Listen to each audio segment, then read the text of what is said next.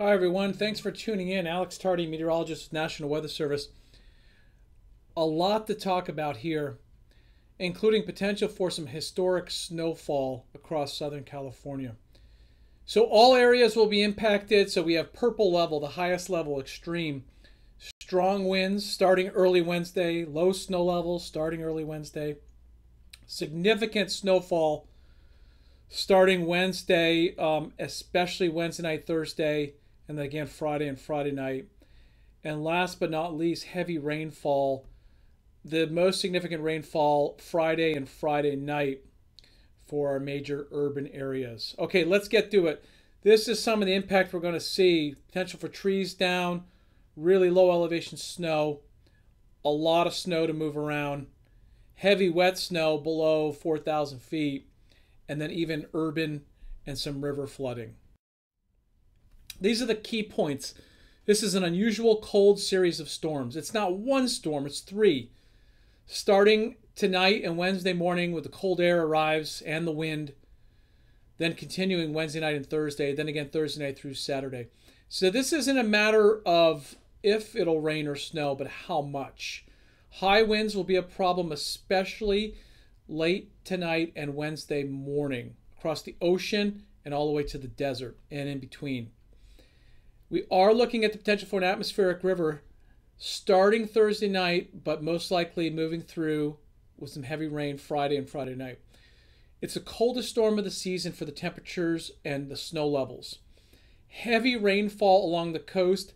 Again, most of that will be Friday, Saturday, so wait for that with the atmospheric river. The low snow levels, though, will start early, as early as Wednesday morning and even continue Wednesday night and Thursday.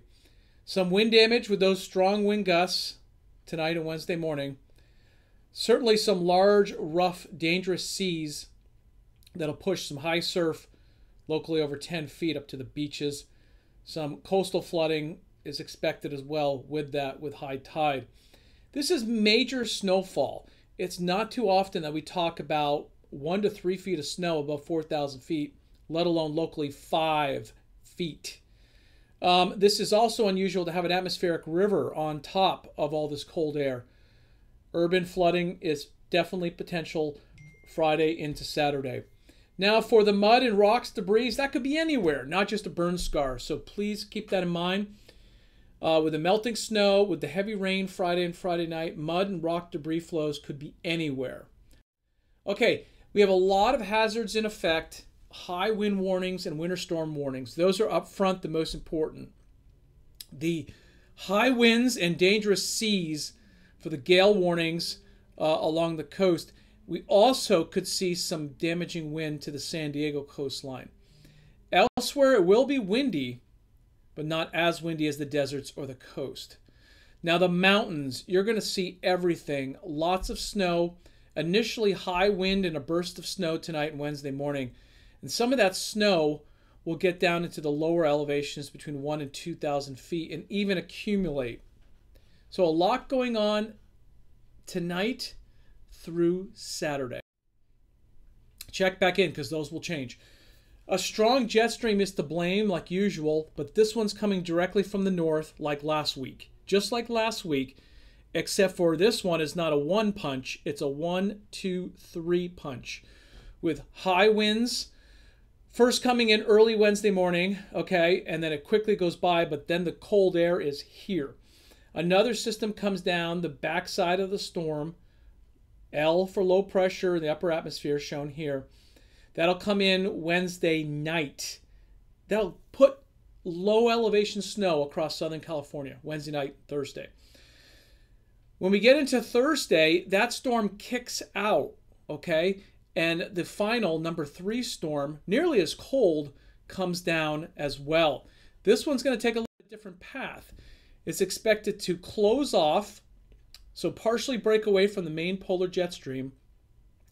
But when it does that, it sits off the California coast on Friday, draws in tropical moisture. So we got a little bit of everything setting up here, and yes, an atmospheric river for Friday. The storm is slow to leave, so we still see the shower part of the storm on Saturday. And even though the snow levels do recover a little bit on Friday, to between three and 4,000 feet. They come back down again to 3,000 feet on Saturday. Looks like we'll catch a break on Sunday and Monday, it appears. Okay, I talked about atmospheric river. This is going to be the big deal on Friday into Saturday. A slow moving atmospheric river pointed not in central, northern California, southern California. Because the way the storm breaks off and draws in that moisture and takes its time swinging through. This is storm number three. What does that mean? That means the potential for rain is significant on Friday and Friday night. Here's a look at San Diego. On average, a projection of around two inches of rain. If it comes in a little bit slower, even more, as shown here. Not only San Diego, but spilling over into Palm Springs, this atmospheric river potentially means business, producing some heavy rain in parts of our western deserts in the Coachella and Borrego Valley. Okay, uh, the San Diego River will eventually be a problem, not in the short term, but when this atmospheric river arrives. And so will some of our other main rivers, and certainly our urban and small streams. I wanted to show this because it's unusual to see something like this. So once the cold air comes in Wednesday, it doesn't go away. We're looking at freezing levels of 1,500 to 2,000 feet while precipitation is occurring Wednesday night and Thursday. It's quite remarkable to see something like this in Southern California. All right, unusual wind and unusual cold. So that's what we're going to deal with first. Uh, the type of wind we don't see every year and as much as every 10 years. The type of cold, and we were talking about this last year and last week, cold temperatures but this is even colder than those storms. So, five to as much as 10 years can go by without seeing something this windy, this cold. Take a look at this. This is a depiction of the heart of the storm Wednesday. So that's when the cold air is going to be sitting right over us and it's not going to want to move. It's going to get reinforced on Thursday and then more cold air comes in with atmospheric river on Friday. This cold air sets the stage for unprecedented snowfall. If you look at the extreme values, the wind's extreme on Wednesday morning, the cold's extreme from Wednesday all the way through Friday. The snowfall just as extreme. And it's not just our mountains, it's all the way from the lower elevation foothills up through the mountains where we could see unprecedented snowfall totals. Here's the wind. The wind's the problem tonight through Wednesday. We could see some damaging winds even on the coast. Okay, damaging winds even on the coast. The mountains and the deserts that are used to the wind, this is even strong wind for them. So that's you, Palm Springs, Borrego Springs, Ocotillo Wells. That is strong wind, Lucerne Valley, even for your area. The winds aren't just going to be gusty, they're going to be sustained strong. And so we're looking at early Wednesday sustained winds across the ocean of around 40 miles per hour. Uh, sustained winds in the mountains and desert slopes of 40 to 50 miles per hour sustained. Even the orange shaded shows some sustained winds across the valleys and coast of 30 miles per hour. That can cause damage. Okay, the first storm doesn't have a lot of precipitation, but it has a tremendous amount of wind and cold air. So rain and snowfall totals are insignificant, but we get snow in places that aren't used to it on Wednesday. So Wednesday into Thursday, we see some snow in low elevations like Anza, like in the valleys west of Borrego, like we saw last week. So we see unusual snow in the Cajon Pass. So unusual snow in parts of the Inland Empire foothills. That's because we have really cold air in place and precipitation moving over the top of it Wednesday night and Thursday. So the cold front comes through early Wednesday morning, then additional precipitation Wednesday night. Temperatures aren't really going to go anywhere. I said cold air. You're not going to get out of the 20s in the mountains. You're not going to get out of the 40s in the inland valleys. And that will be briefly in between storm one and two on Wednesday.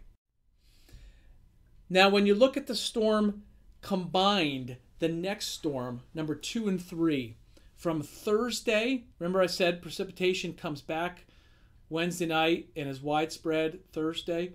Well, the atmospheric river doesn't arrive until Friday and then moves through early Saturday.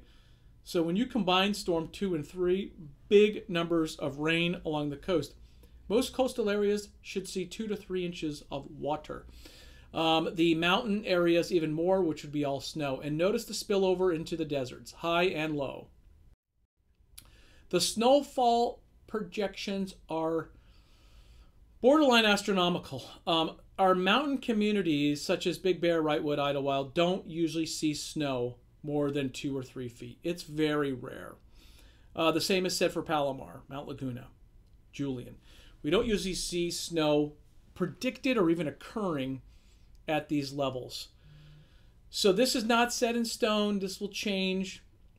You could easily see more snowfall in the Inland Empire than shown here, even though it does project one to four inches. You could see more snow in the high deserts. Um, and some of these peak values might be confined to the most favored slopes like Running Springs and Green Valley Lake. But nonetheless, we're talking feet of snow. Uh, what does it compare to? We had a big storm back in December 2014. We had uh, a major wind event in January 2016, a lot of damage in San Diego. We had a major atmospheric river and cold storm that produced a few feet of snow in Big Bear and other places in 2017. Then we had uh, what followed the Valentine's Day storm, which was bad enough. Then we had really cold, low snow levels in February 2019. So we've seen storms that were all a little bit different, but comparable in some regards. Across California, if San Diego's getting two or three inches of rain, then the north must be getting twice as much. That's not the case because the storm is coming directly from the north, turning the corner. Storm 1, 2, and 3 especially targeting Southern California. Zoomed up view shows those big amounts that are projected, even spilling over in the deserts of precipitation. So a lot of this is snow. The hazards are real. Uh, so on Wednesday, when the cold air arrives, the seas, the coastal surf, the high winds, extreme along the coast. Some of the wind speeds we see, even touching the coast and over the mountains and deserts, also significant to extreme. That's just with storm number one, the cold front. now, uh, with the snow and the cold air in place and more precipitation, we're going to see unusual low snow levels Wednesday night through Thursday night. When the atmospheric river arrives on Friday, the snow levels will rise, but still probably not go above 4,000 feet. And that's what's going to enable potentially the feet of snow above 4,000 feet. Okay, there's also a risk for heavy rain, as mentioned. This is our coastal and valley areas when the warmer air comes in, the atmospheric river comes in Friday and Friday night. A risk for excessive rainfall in our coastal areas and our inland valleys. That's what will lead to some urban flooding, some of the rock slides, and also potential for river flooding. Do we catch a break? Um, the latest information is shown here. This is just issued um, a lot like what we saw a week ago, there is the projection again for another polar type storm setting up on the west coast, affecting all of California, including SoCal, as shown here, with below normal temperatures and above average precipitation. This is for the first week of March. Okay, the key points are up here for you to digest. Take a look at those. Um, pause the video See what's impact for your area, whether it's wind, unusual snow amounts or low snow levels, or just plain rain, or even the coastal surf. Make sure you follow the weather on weather.gov. That's where the latest information will be posted. Nowhere else is it posted that quick. It'll go right to weather.gov, whether it's a urgent message or a message telling you it's coming in a day or two, like we're doing now. Stay safe, everyone um, and adhere to all the road closures, all the warning signs, the change restrictions, and all the information that will likely be posted on messaging and signboards as we go through this week. We'll touch back in later in the week.